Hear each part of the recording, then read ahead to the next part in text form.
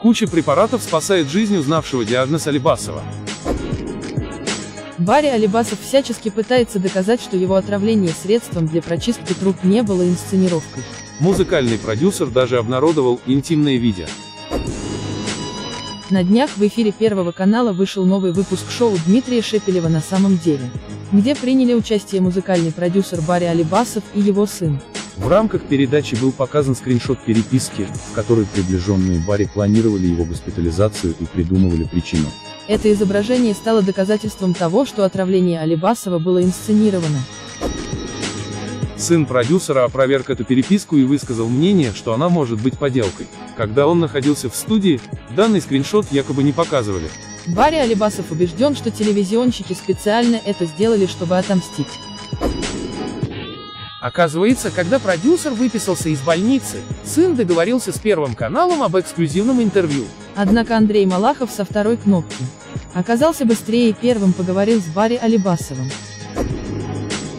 Дальше, больше, продюсер группы «Нана» Опубликовал в Инстаграм короткое видео, в котором откровенно были продемонстрированы лекарственные препараты, призванные помочь ему побыстрее выздороветь.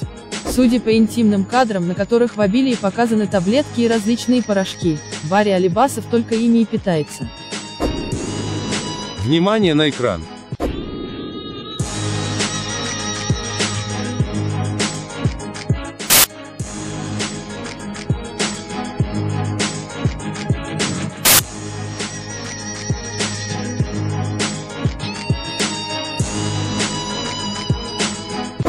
Говорят, что я не болею, а прикидываюсь. Вот это все я глотаю ежедневно, пока вся страна интересуется, болен я или нет. К сожалению, диагноз неутешителен.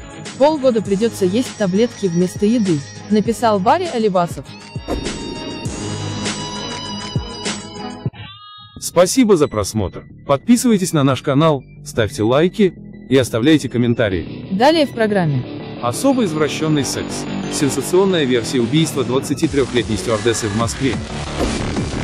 Вайкуля о конфликте с Крутым. Он обижается несправедливо. Сделано заявление о распаде Украины. Президент сообщил о смерти Шварценеггера во время важного выступления.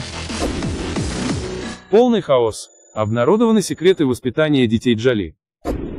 И многое другое.